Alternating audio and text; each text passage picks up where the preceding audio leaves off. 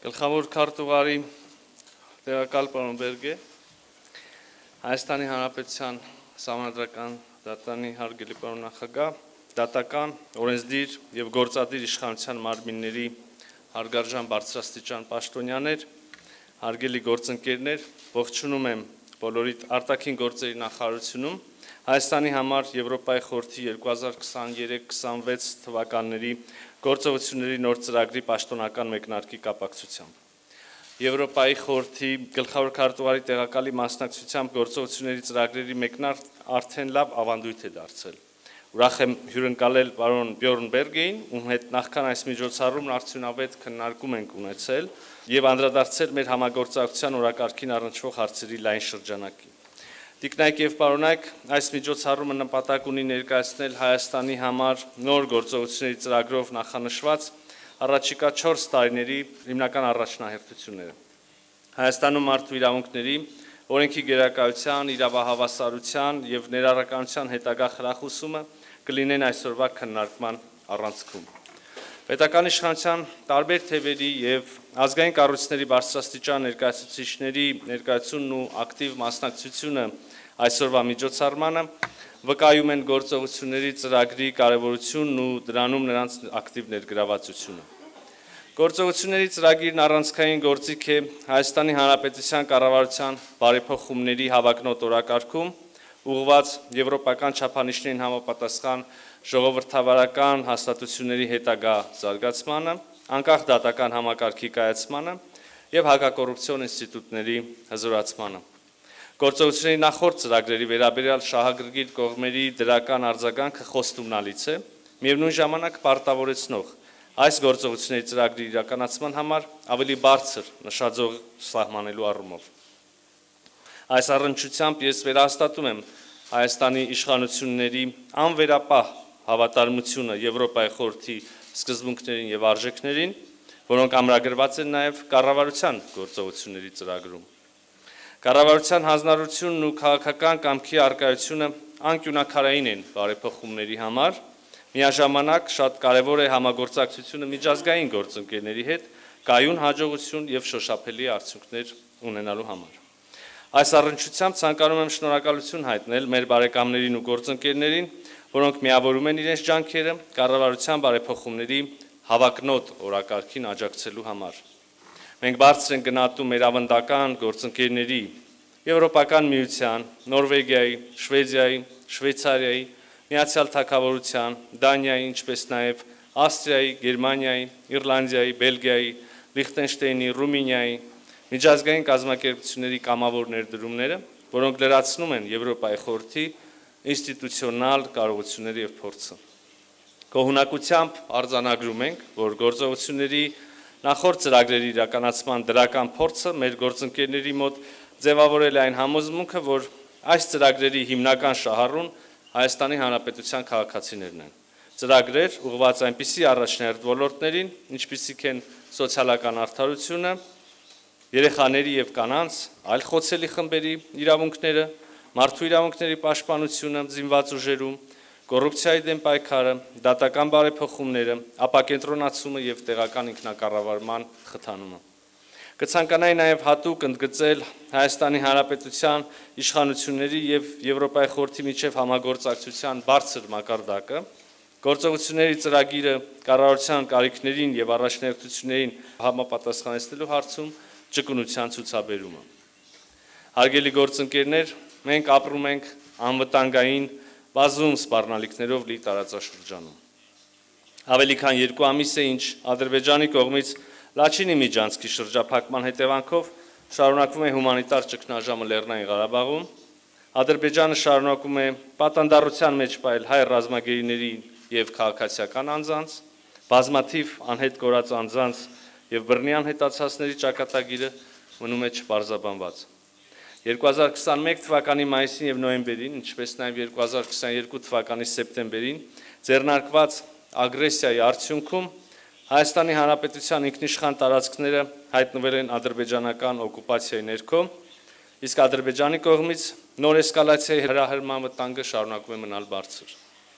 Եվ ահա Չնայած Հայաստանի եւ նրա ժողովրդավարության դեմ ուղված այս քայլերին եւ արկա սուր մարտահրավերներին, մենք հավատարիմ ենք մնում մեր արժեքներին եւ Եվրոպայի խորհրդի հետ համագործակցաբար շարունակում ենք ժողովրդավարական ինստիտուտների ամրապնդումը։ Ժողովրդավարությունը Հայաստանում այլևս անշրջելի է։ Շնորհակալ եմ բոլորիդ մեկնարկի այս միջոցառմանը մեզ միանալու համար։ Շնորհակալություն։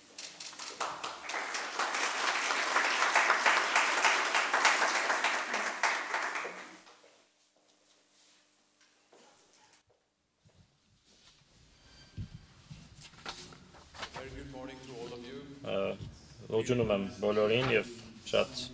հաճելի է վերադառնալ Արևառատ եւ Գեղեցիկ Երևան։ Հետաքին գործերի արգաժան նախարար, պատվարժան հյուրեր, տիկնայք եւ պարոնայք։ Իսկապես շատ կարևոր միջոցառում է Հայաստանի համար իրականացվող գործողությունների այս նոր համատեղ ծրագրի մեկնարկը։ Սա հերթական քայլն է այն տարական ճանապարհորդության մեջ, որին ծառնամուխ են եղել Հայաստանը եւ Եվրոպայի խորհուրդը միասին։ Կարևոր է նաեւ այս ճանապարհորդությունը ընդհանուր համատեքստում դիտարկել։ Այսօր Եվրոպան խորը ճգնաժամի մեջ է։ Ռուսաստանի կողմից շարունակվող անօրինական եւ ամբողջովին անընդունելի պատերազմը Ուկրաինայում ահավոր տարապանք է պատճառում։ Ագրեսիվ ազգայնականության բարձրացումը անմիջական սպառնալիք է այն արժեքներին եւ չափորոշիչներին, որոնց պաշտպանության համար գոյություն ունի Եվրոպայի խորհուրդը։ Միևնույն ժամանակ մենք պետք է ավելին անենք, որպիսի պահպանենք եւ ամրապնդենք ժողովրդավարությունները ողջ Եվրոպայում։ Ոստի մեր արձագանքը պետք է կենտրոնանա թե ժողովրդավարության կարևորագույն բաղադրիչների ուղղությամբ, որպիսի նախկինից ավելի ամուր մի բան կառուցենք։ Գործողությունների ծրագիրը, որը մեկնարկում ենք այսօր, եւ հայաստանյան իշխանությունների նախաձեռնողական մոտեցումը վառ օրինակներ են նրա թե ինչ պետք է արվի գործնականում եւ ամբողջ Եվրոպայում։ Ինչ խոսք գործողությունների ծրագիրը ընդամենը մեկ մասն է, մեկ շատ կարևոր մասն է ընդհանուր համագործակցության Եվրոպայի խորհրդի եւ Հայաստանի Հանրապետության միջև։ Հայաստանը Եվրոպայի խորհրդի անդամ է արդեն ավելի քան 2 տասնամյակ շարունակաբար կարևոր ներդրում է ունենում կազմակերպության գործունեության մեջ, միևնույն ժամանակ օգտվում կազմակերպության փորձագիտական կարողություններից եւ մեր համագործակցությունից։ Հետաքրքիր է եղել հետևել այս հարաբերությունների էվոլյուցիային եւ համապատասխան նոր նախաձեռնություններին, որոնք տարիների ընթացքում ձեռնարկվել են, այդ թվում նաեւ կարևորագույն բարեփոխումների իրագործումը այդ թվում նաև ծանր հանգամանքներում եւ ծանր իրավիճակներում, սակայն իշա շարքային քաղաքացիների։ Պարոն նախարար արգելի ընկերներ, Եվրոպայի խորհուրդը շատ դրական է գնահատում գերազանց համագործակցությունը Հայաստանի հետ եւ առաջընթացը, որը մի շարք ոլորտներում ձեռք է բերվել։ Մասնավորապես, նաեւ նաեւ վերջին գործողությունների համատեղ ծրագրի ներքո, որ անցյալ տարի ավարտվեց։ Այդ համակ համակարգային մոտեցման ներքո էական եւ շոշափելի ձեռքբերումներ են եղել։ Դատական նորորենս գիրքը, օրինակ, որով բարելավվել է դատարանների, դատական համակարգի կառուցվածքը եւ դատավորների գնահատումը միևնույն ժամանակ արգելով դատավորների անկախությունը եւ նոր քրական օրենսգիրքը եւ քրական դատավարության օրենսգիրքը, որոնք պատժողական մոտեցումներից անցնում են ավելի շատ վերականգնողական մոտեցումների։ Ավելին,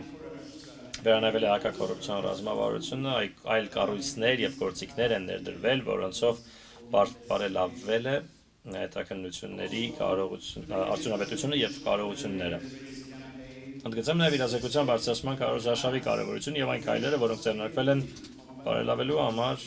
կանոնական բռնության դեմ պայքարի մասնագետների կարողությունները։ Սա հիմնարար գերակայությունը եվրոպական բազմաթիվ երկրներում այսօր։ Ինչպես նաեւ ստեղծվել է միջգերատեսչական հանձնաժողով, որն օգնում է բարելավել